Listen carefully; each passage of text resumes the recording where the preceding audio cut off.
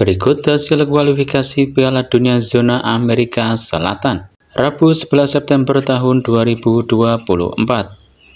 Kolombia menang versus Argentina dengan skor 2-1. Ekuador menang versus Peru dengan skor 1-0. Chili kalah versus Bolivia dengan skor 1-2. Venezuela seri versus Uruguay dengan skor 0-0. Paraguay menang versus Brazil dengan skor 1-0. Berikut daftar klasemen sementara kualifikasi Piala Dunia Zona Amerika Selatan.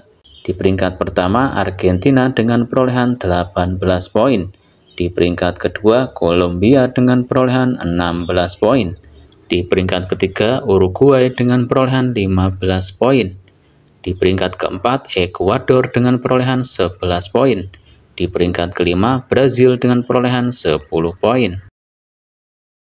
Sementara di peringkat keenam, Venezuela dengan perolehan 10 poin. Paraguay di peringkat ketujuh dengan perolehan 9 poin. Bolivia di peringkat ke-8 dengan perolehan 9 poin. Di peringkat 9, Chili dengan perolehan 5 poin. Dan Peru di peringkat ke-10 dengan perolehan 3 poin. Berikut daftar top skor sementara kualifikasi Piala Dunia Zona Amerika Selatan. Darwin Nunes dari Uruguay menjadi top skor sementara dengan perolehan 5 gol. Berikut daftar top asis sementara kualifikasi Piala Dunia Zona Amerika Selatan. Berikut jadwal selanjutnya. Jumat 11 September tahun 2024.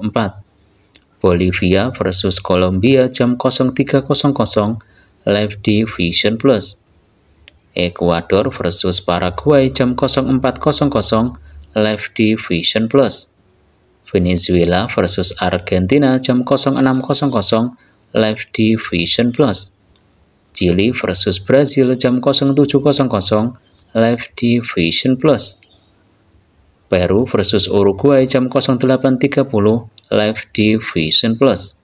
Demikian update hasil dan jadwal kualifikasi Piala Dunia Zona Amerika Selatan. Jangan lupa subscribe agar tidak ketinggalan video selanjutnya.